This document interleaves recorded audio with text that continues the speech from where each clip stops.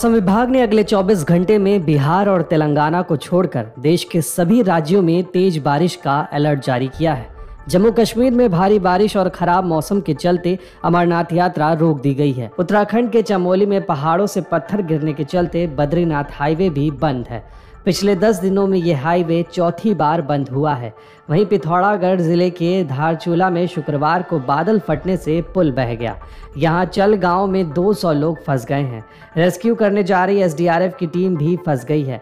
उधर हिमाचल प्रदेश में कालका सोलन हाईवे पर अचानक पहाड़ों से पत्थर गिरने शुरू हो गए। एक कार पत्थरों की चपेट में आने से बाल बाल बची। जम्मू कश्मीर में खराब मौसम के चलते पहलगाम और बालटाल दोनों रूट पर अमरनाथ यात्रा रोक दी गई है। अधिकारियों ने बताया कि मौसम ठीक होते ही यात्रा फिर से शुरू कर दी जाएगी। अब तक अस्सी हज़ार से ज़्यादा लोग अमरनाथ के दर्शन कर चुके हैं।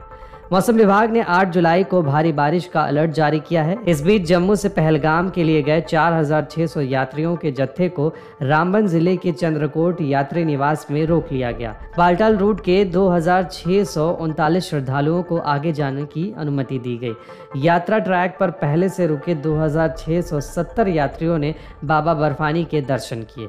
बताया जा रहा है कि पवित्र अमरनाथ गुफा के साथ साथ दोनों यात्रा मार्गों पर भारी बारिश के चलते यात्रा स्थगित की गई है। अधिकारियों ने बताया कि नुनवान पहलगाम कैंप में 3,200 और बालटाल में 4,000 यात्रियों को रोका गया है। तेज बारिश के चलते बालटाल आधार शिविर से पवित्र गुफा की ओर जाने वाले रास्ते पर रेल पथरी जेड मोड़ पर भूस्खलन हो गया है। ट्रैक पर तेज बहाव के साथ पानी अपने साथ कीचड़ और पत्थर ले आया। इसके चलते ट्रैक पर मलबा इकट्ठा हो गया है।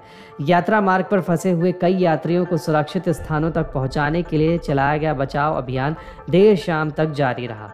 वहीं पश्चिमी विभोक्ष के कारण जम्मू संभाग के पुंछ, राजौरी, रामबन, परगवाल, किश्तवाड़ में बारिश हुई। इससे नदी नालों का जलस्तर बढ़ गया है।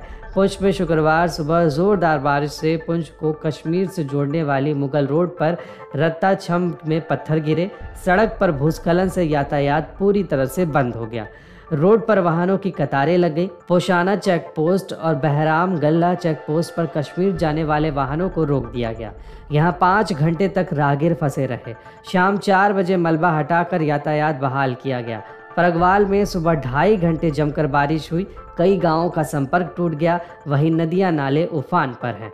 इस बीच मौसम विभाग ने जम्मू कश्मीर में खराब मौसम को लेकर चेतावनी जारी की है। मौसम विभाग के निदेशक सोनम लोटस ने कहा, मानसूनी हवाओं और पश्चिमी विभोग के प्रभाव के तहत 7 से 9 जुलाई के दौरान जम्मू कश्मीर में गरज चमक के साथ भारी बारिश होने के आसार हैं। जम्मू संभाग के कुछ स्थानों पर भारी से बहुत ज़्यादा बारिश हो सकती है। हमसे जुड़े रहने के लिए हमारे YouTube चैनल को सब्सक्राइब करें और नई वीडियो की नोटिफिकेशन के लिए बेल आइकॉन को दबाएँ। अगर आप ये वीडियो फेसबुक पर देख रहे हैं तो लाइक ज़रूर करें और ज़्यादा से ज़्यादा शेयर करें धन्यवाद